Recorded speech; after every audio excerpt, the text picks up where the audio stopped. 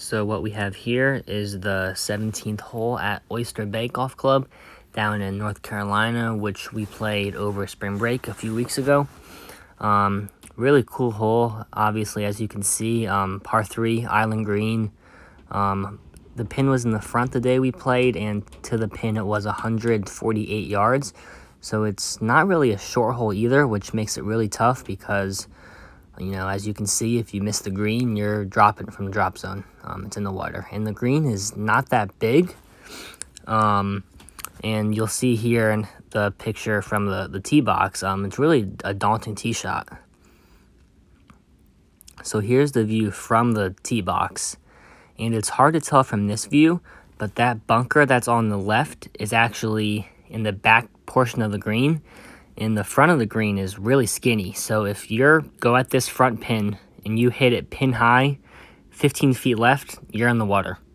Like it's really skinny up front. So if you want to go at the pin, you have to be really precise or just play it safe and play it 10 yards long so you're you hit the the fatter part of the green, which I discovered once I was at the green and hit my first tee shot in the water.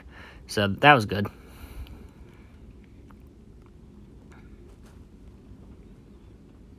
And here's just a different angle of the green, which you can really tell from this angle how that bunker in the back is not next to the pin and how the front of the, the green is just super skinny. I would say it's only about 20 feet wide. And then as if the hole wasn't hard enough, when we were playing, there was a gator right next to the walkway when you go to the green.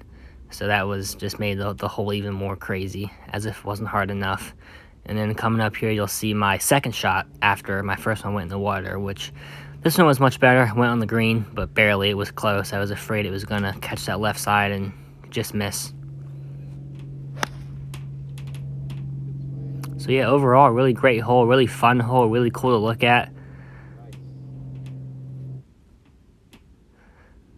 And yeah, so that was a good shot, about 10 feet. Uh, missed that for my bogey, so made a double.